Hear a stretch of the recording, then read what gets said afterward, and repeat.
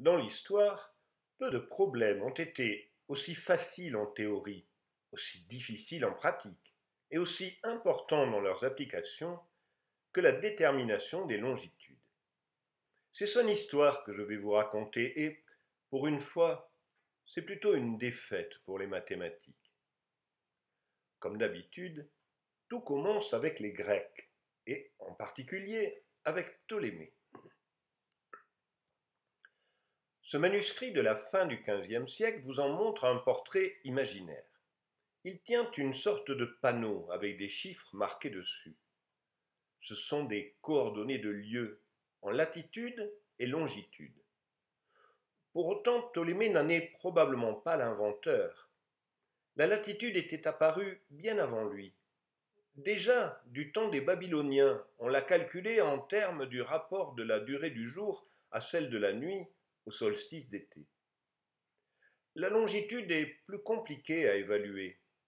Il est possible que ce soit Hipparque qui en ait fait usage le premier. Ptolémée donne dans sa géographie un catalogue étendu de lieux avec leurs coordonnées, catalogue qui a été repris pendant plus de quinze siècles. Vous en voyez ici un petit extrait dans lequel on reconnaît les villes de Toulouse, Carcassonne et Narbonne. Bien sûr, on ne peut pas s'attendre à des miracles de précision. Ptolémée n'a pas effectué lui-même les mesures. Il s'en remet à des voyageurs qui lui donnent des distances approximatives, à partir desquelles il reconstruit les latitudes et les longitudes.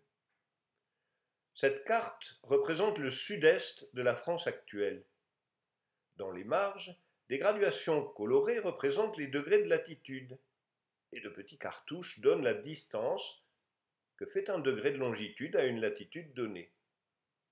Les erreurs de longitude sont manifestes. On aurait pu penser qu'une notion aussi cruciale pour les voyages aurait dû se préciser rapidement. En tout cas au plus tard au moment des grandes découvertes. Cela n'a pas été le cas. La défaite de l'invincible armada, presque un siècle après Christophe Colomb, est commémorée dans ce portrait d'Élisabeth Ier. Euh, certes, la bataille de Gravelines, à gauche, a compté. Mais aucun navire espagnol n'y a été coulé. Par contre, ensuite, la flotte espagnole a été obligée de contourner par le nord et de redescendre vers l'Irlande. Les erreurs de navigation ont coûté très cher. C'est ce qui est représenté à droite. Une vingtaine de navires ont fait naufrage sur les côtes d'Irlande. Pourtant, Philippe II, qui règne à l'époque sur une bonne partie de l'Europe et de l'Amérique du Sud, s'était montré conscient, dès son accession au pouvoir en 1556, de l'importance d'une navigation sûre pour un royaume aussi vaste. En 1567, donc vingt ans avant le désastre de l'invincible armada, il avait déjà annoncé une forte récompense pour quiconque trouverait une solution au problème des longitudes. Isabelle Claire Eugénie d'Autriche est la fille de Philippe II. Il lui a laissé en partage la gouvernance des Pays-Bas espagnols, ainsi que le duché de Bourgogne. Des demandes de récompense plus ou moins justifiées lui parviennent, comme celle d'un dénommé Van Landgren. Il se présente comme mathématicien de Sa Majesté. Et pour appuyer son propos, il a relevé chez plusieurs géographes les différences de longitude entre Tolède et Rome. Il a traduit ces données en un graphique extrêmement éloquent, qui passe pour être la première représentation graphique de données statistiques dans l'histoire. Dans la marge de gauche, il traduit les différences de longitude en lieues d'Allemagne. Elles s'étalent sur plus de 100 lieues, soit de l'ordre de 400 kilomètres. Au-dessous du graphique, Van Landgren enfonce le clou. Si entre Tolède et Rome, on ne connaît pas la longitude, imaginez ce qu'il en sera des Indes orientales et occidentales, qui sont à des distances beaucoup plus grandes. Avançons d'un siècle. En 1735, Antonio de Ulloa est un des deux jeunes militaires délégués par le roi d'Espagne pour participer à l'expédition de l'Académie des sciences françaises en Équateur. Je vous en ai déjà parlé. C'est l'expédition de mesure du méridien à laquelle on a associé le nom de la Condamine. Elle a duré une bonne dizaine d'années pour amener au final un résultat contesté rendu caduque par le succès de Maupertuis en Laponie. Mais bref, après de nombreuses péripéties, Ulloa a pu rentrer en Espagne et rédiger son récit de voyage. Il est paru en 1748. Il y parle, dans le premier chapitre, des objectifs de l'expédition.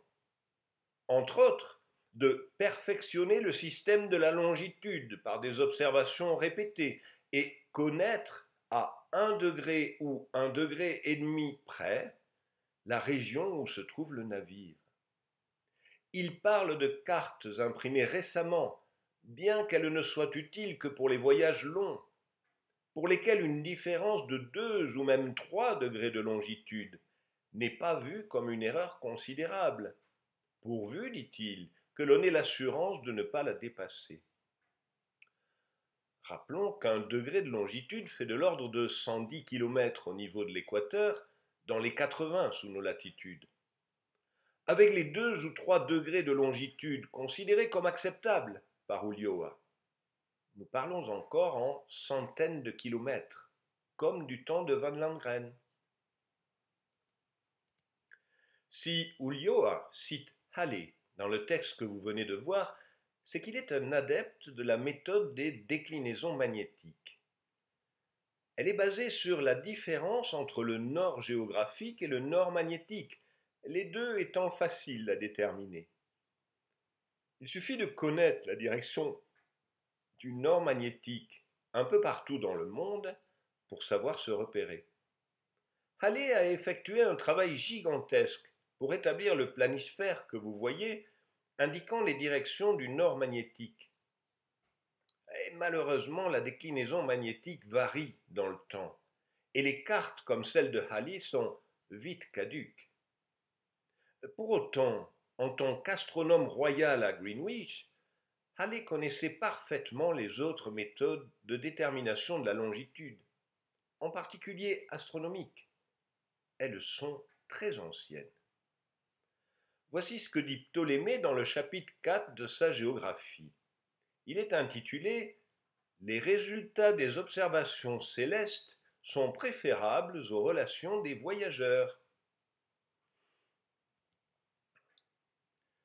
Les distances, pour la plupart, surtout celles d'Occident en Orient ou d'Orient en Occident, ne nous ont été données que grossièrement, non par l'effet de quelque négligence de la part des navigateurs à qui nous devons ces relations, mais peut-être parce qu'il manquait d'une méthode mathématique pour bien observer, et parce qu'on n'avait pas encore observé plusieurs éclipses de lune, de différents lieux à la fois, et en même temps.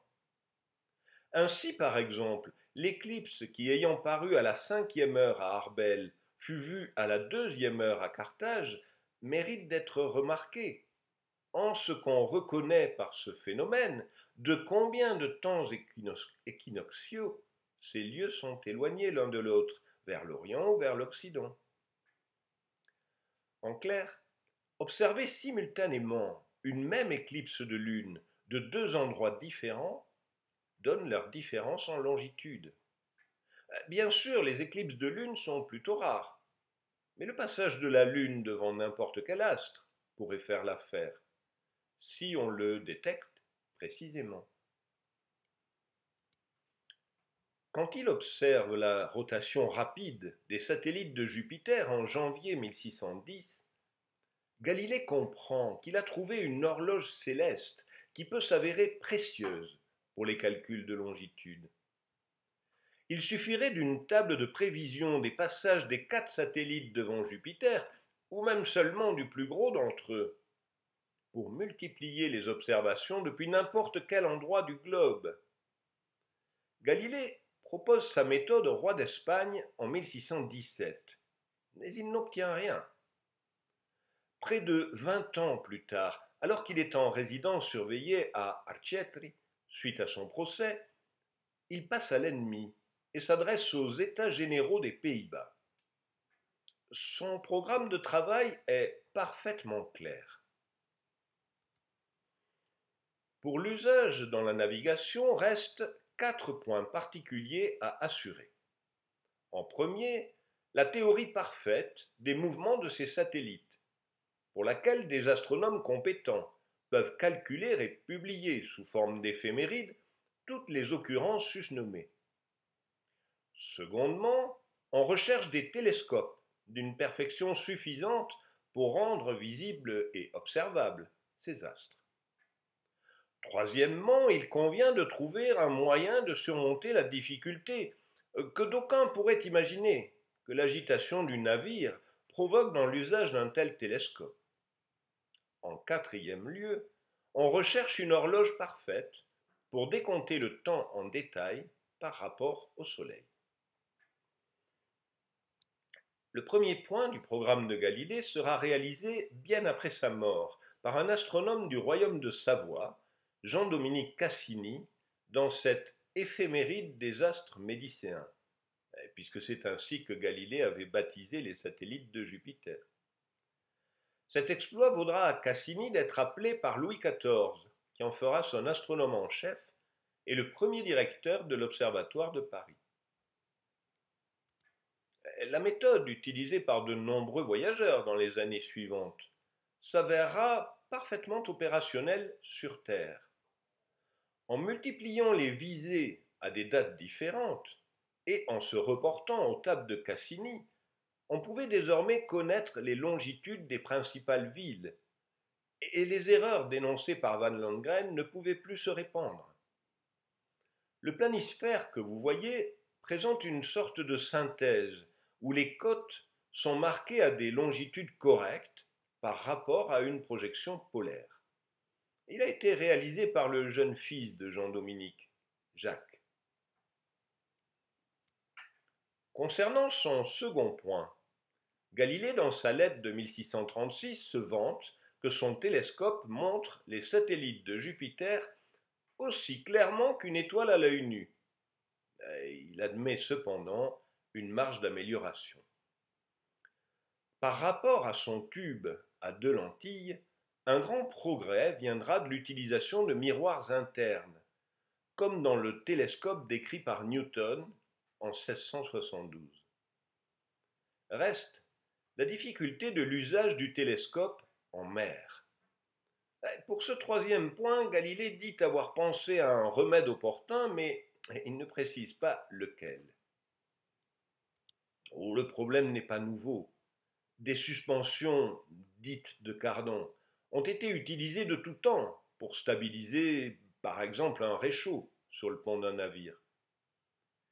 Ici, vous voyez une illustration du Cosmolab ou instrument universel concernant toutes observations qui se peuvent faire par les sciences mathématiques tant au ciel, en la terre, comme en la mer de l'invention de M. Jacques Besson, professeur SDIT sciences en la ville d'Orléans.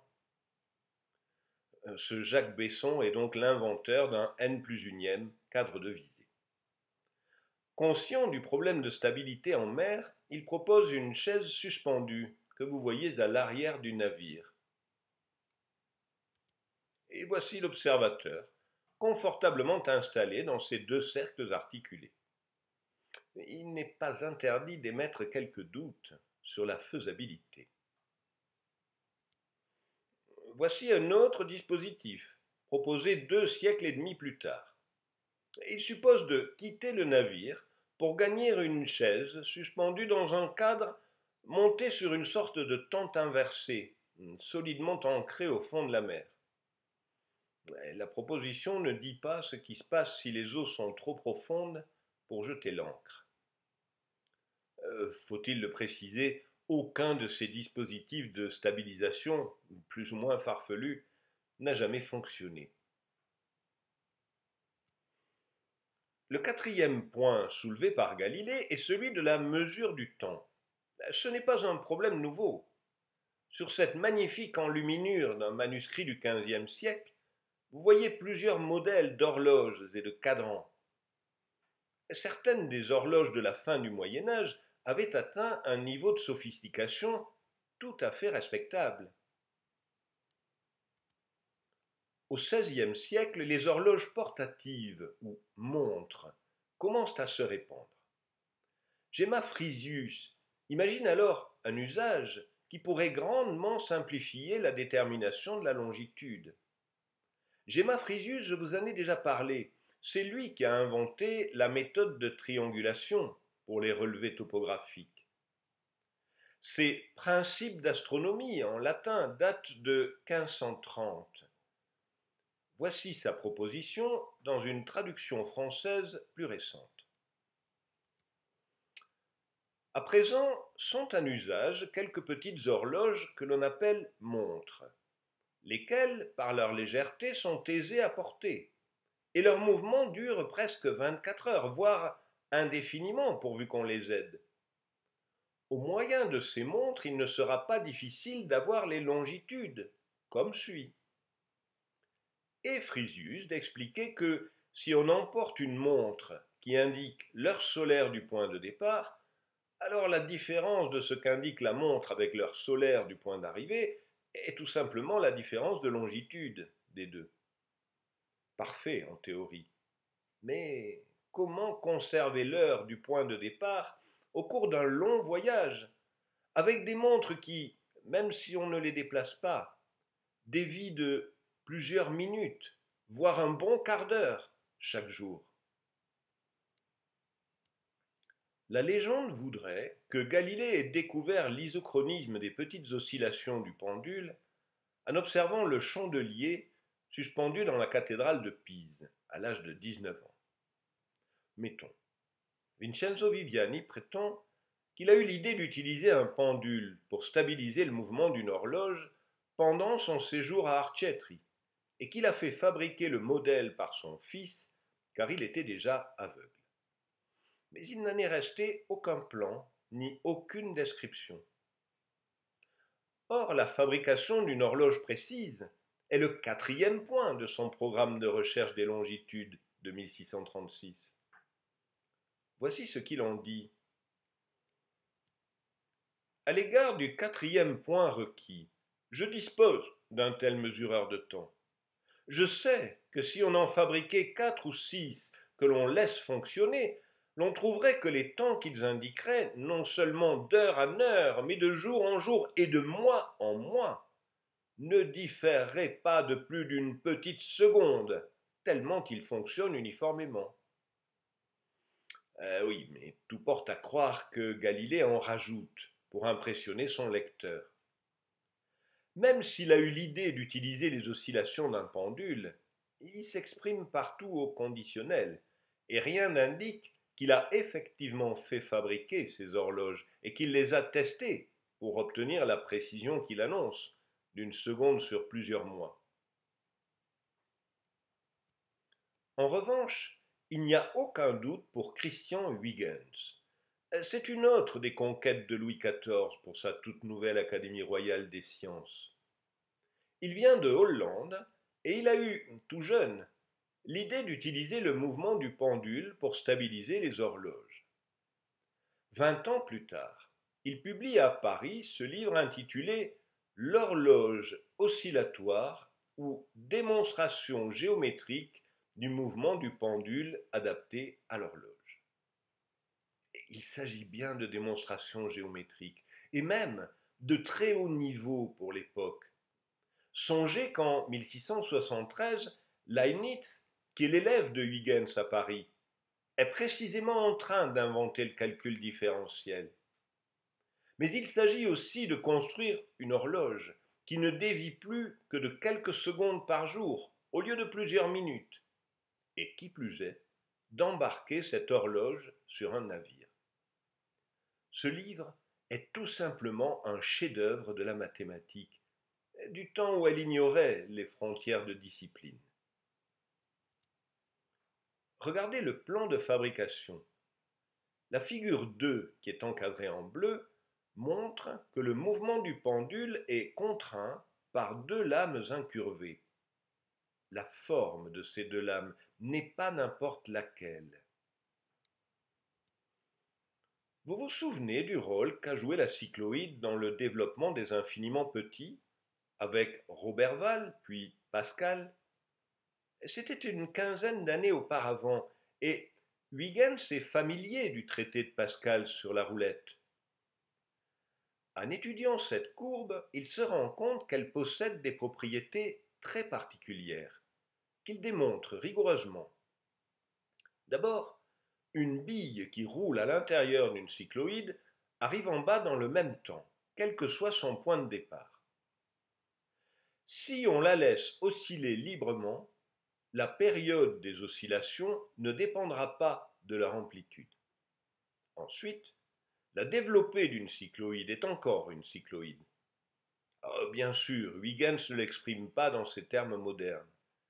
Mais il comprend parfaitement que si on veut que les battements d'un pendule soient tous exactement de même durée, il faut contraindre le fil du pendule à suivre un arc de cycloïde. C'est le secret des deux mâchoires courbes que vous avez vues sur le plan de l'horloge. Et ça marche. Huygens construit lui-même en partie, ou fait construire, des modèles qui sont embarqués pour des voyages en mer. De ces observations, il tire des conclusions immédiatement appliquées à la conception de nouveaux modèles, comme le suivant par exemple. Écoutez ce qu'il en dit. Du reste, par les expériences faites dans la traversée de l'océan, surtout dans les cas où une tempête assez forte agitait les flots. Il fut établi qu'il faut en premier lieu avoir soin de conserver le mouvement sans interruption des horloges. On remarqua qu'elles supportaient difficilement une si grande agitation du navire. C'est pourquoi nous avons changé, d'après un nouveau dessin, la forme du pendule et en même temps la suspension des horloges. Huygens reste dans l'histoire non seulement comme l'inventeur de l'horloge à pendule, mais encore comme celui qui a réussi à conserver le temps sur un navire avec une précision acceptable. C'était un immense progrès, mais ce n'était pas encore assez pour la détermination des longitudes. En 1714, peu avant la mort de la reine Anne, le Parlement anglais édicte un décret destiné à frapper les esprits et à booster la recherche. C'est le Longitude Act, concernant la découverte de la longitude et autres améliorations de la navigation. Le texte annonce qu'une récompense de 10 000 livres est offerte à la personne qui déterminera la longitude à un degré près. La récompense passe à 15 000 livres pour deux tiers de degré, 20 000 livres pour un demi-degré. Souvenez-vous, Ulio a considéré une erreur de 2 ou 3 degrés comme acceptable. Là, on se propose de passer à 1 ou un demi-degré de précision pour une somme d'argent à peine croyable. À l'époque, un salaire annuel de 100 livres est confortable. Un équivalent de nos jours, 10 000 livres se comptent en millions d'euros. Évidemment, l'énormité de la somme a aiguisé de multiples convoitises, et les propositions, plus ou moins farfelues, ont afflué.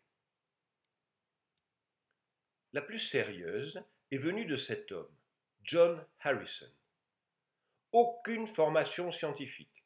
C'est un autodidacte doué d'un sens pratique exceptionnel, d'un perfectionnisme rare et d'une persévérance frisant l'obstination. Il lui en a fallu de la persévérance. Entre sa première proposition dans les années 1730 et la reconnaissance officielle, qui n'est arrivée que trente ans plus tard, il aurait eu de multiples occasions de se décourager. Il faut dire qu'il avait fort à faire avec l'establishment des astronomes londoniens, même si plusieurs, parmi lesquels Halley, se sont montrés ouverts et objectifs. D'autres n'ont pas caché leur mépris pour un artisan et leur préférence pour des solutions plus savantes. Et que voulez-vous? Que ce soit un artisan qui résolve le problème le plus important et le plus cher du moment. C'était tout de même une sacrée claque pour les mathématiciens. Certains étaient mauvais perdants. Il aura fallu un nouveau roi, Georges III, arrivé au pouvoir en 1760, qui accepte de recevoir Harrison et qui comprenne l'injustice de sa situation pour que son exploit soit enfin reconnu. Harrison est cité plusieurs fois en 1765 dans une nouvelle version du Longitude Act. On déduit les subventions déjà obtenues et le reste de la somme promise peut enfin lui être versé. La nouvelle du succès d'Harrison n'a pas tardé à traverser la Manche. Deux ans plus tard est parue cette édition bilingue des principes de la montre de M. Harrison. Ferdinand Berthoud, un horloger suisse installé à Paris, est celui qui aura le plus contribué à rattraper le retard pris par la France dans la course à la longitude lui aussi a mis au point et fabriqué en quantité ses propres horloges marines. Il en a publié tous les détails. Son Traité des horloges marines est paru en 1773, exactement un siècle après celui de Huygens. Même après ce traité, Berthoud a continué à fabriquer des horloges et des montres, y compris pendant la Révolution. Mais ce n'est pas pour autant que le retard de la France sur l'Angleterre était comblé. Le 25 juin 1795, la Convention nationale entend le rapport d'une commission qui propose la création d'un bureau des longitudes sur le modèle du Board of Longitude anglais. C'est l'abbé Grégoire qui rapporte. Écoutez-le. Les succès des Anglais à différentes époques et spécialement dans la guerre de 1761, n'ont que trop prouvé que la supériorité de la marine décide souvent des résultats de la guerre. Une des mesures les plus efficaces pour étouffer la tyrannie britannique, c'est de rivaliser dans l'emploi des moyens par lesquels cet État, qui ne devait jouer qu'un rôle secondaire dans l'ordre politique, est devenu une puissance colossale. Or les Anglais bien convaincus que sans astronomie on n'avait ni commerce ni marine, ont fait des dépenses incroyables pour pousser cette science vers le point de perfection. Et encore, au moment où l'abbé Grégoire prononce ce discours enflammé, les déboires de Napoléon contre les Anglais n'avaient pas commencé. Aussitôt dit, aussitôt fait. Le Bureau des longitudes est officiellement créé et réuni. Le décret datant du 25 juin, la première assemblée a lieu le 6 juillet. parmi les membres fondateurs, la plupart font de fréquentes apparitions dans ces histoires. Borda, Bougainville, Delambre, Méchin, Lalande, Lagrange, Laplace. Il y a même un Cassini. C'est l'arrière-petit-fils de celui de tout à l'heure. Bref, les meilleurs mathématiciens du moment étaient de la partie. Comme vous l'imaginez, le Bureau des longitudes de 1795 avait été fondé dans l'enthousiasme et les beaux discours, mais bien sûr sans aucun moyen. À ses débuts, il n'a pas eu le même succès que le Board of Longitude de 1714.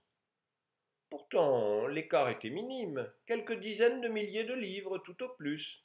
Vous parlez d'une affaire. Notez que le Bureau des longitudes existe encore, alors que le Board of Longitude a été dissous en 1828. Cocorico